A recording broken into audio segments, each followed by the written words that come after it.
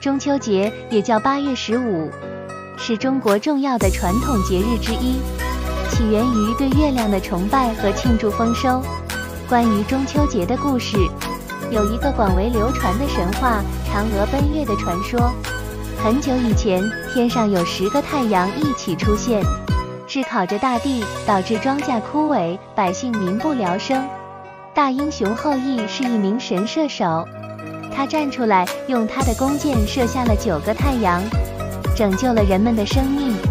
为了感谢后羿，西王母赐予他一颗长生不老的仙药，据说吃了这颗药可以立即升天成仙。后羿不想离开深爱的妻子嫦娥，于是把仙药交给他保管。然而后羿的徒弟冯蒙得知此事，心生贪念，趁后羿外出时闯入家中。逼嫦娥交出仙药，嫦娥为了不让冯蒙得到仙药，只好在危急时刻自己服下仙药。结果她立刻飞升到了月亮，成为了月宫中的仙子。后羿回家后，发现嫦娥已经飞走，非常悲痛。为了纪念嫦娥，每年八月十五这一天，后羿会在院子里摆上嫦娥最喜欢的食物，朝着月亮祈祷，期盼能再见到她。